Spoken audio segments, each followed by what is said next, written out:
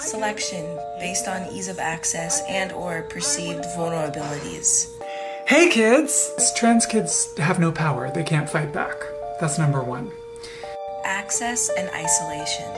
Physical or emotional separation from those that actually care about them. Three ways to disrespect your elders. I coach a lot of people one on one who want to go no contact with their parents. No contact. No contact. No contact. I will tell you about going no contact. Trust development.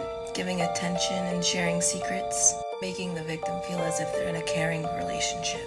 If you need a family, you can come hang out with me.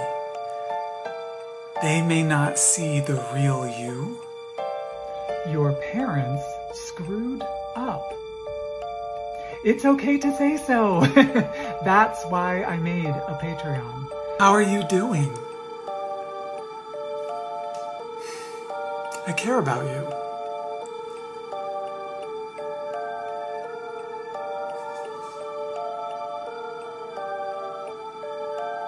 How are you? Are you okay?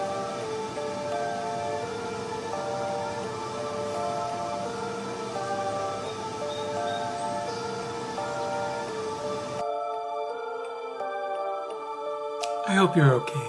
And of course, you can't forget the desensitization to sexual topics.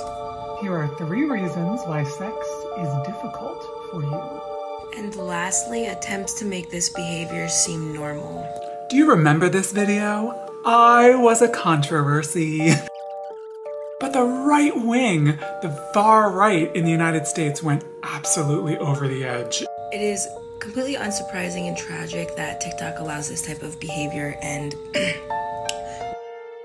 on its platform.